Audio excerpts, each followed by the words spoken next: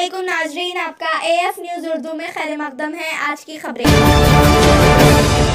Islamic centre जलालबाग Sangareddy में जनाब doctor Mohammad Usman सदर मिली फोरम तेलंगाना स्टेट की क़्यादत में तमाम मकतब फ़िक्र के अफराद का एक खसूसी इजलास मुनद करते हुए संगारेड्डी ज़िलाई सतह पर मिली फोरम तश्कील दी गई, जिसमें जनाब मोहम्मद अब्दुल वहीद को बहसीत सदर मिली फोरम, जनाब आरिफ अहमद अजीज़ी नूरी को नायब सदर, मौलाना खमरुल आलम खासमी नायब सदर, मौलाना इब्राहिम खान नायब सदर, सैयद शाहनवाज, नायब सदर और मोहम्मद मुख्तार हुसैन को कन्वीनर के अलावा दीगर अरकान फोरम का इनका अमल में आया।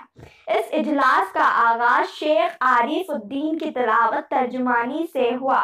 जनाब मोहम्मद अजहर मीडिया सेक्रेटरी ने मिली फोरम के अगराज व मकासद बयान करते हुए कहा कि ज़िले संगारेड्डी में मिली फोरम की तश्कील का अहम मकसद उम्मत मुस्लिमा के जानो माल का तहफ़ करना और तरक्की के संत गामजान करना, इस्लामी तहजीब से अपनी वाबस्तगी को मज़बूत करना, उम्मत मुतहद होकर हालात पर गौर फ़िक्र करते हुए हालात का मुकाबला करना, मजालिम और ज़्यादतों का जायज़ तरीके से मुकाबला करना मिलत में एतहाद पैदा करना और मिली फोरम की ये कोशिश होगी कि इस्लामी तालीमत के मुताबिक अपनी ज़िंदगी गुजारे। मौलाना हाफिज इब्राहिम खान ने कहा कि उमूमन तीन अहम मसाइल होते हैं, जैसे मसलकी, मुल्की और मिली मसाइल। इन तीनों मसाइल पर गौर फ़िक्र करते हुए इन मसाइल को हल किया जा सकता है। आरिफ अहमद अजीजी नूरी ने भी खिताब किया। इस मौके पर नाजिम ज़िला Mohammed Amjad Patel